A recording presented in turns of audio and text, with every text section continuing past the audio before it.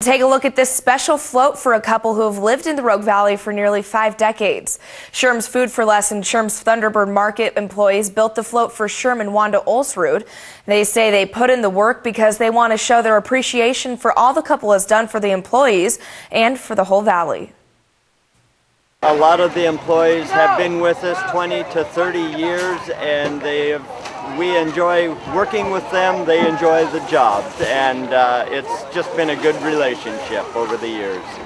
About 15 volunteers worked on the float every day for about a month to make sure it was ready for this morning's parade.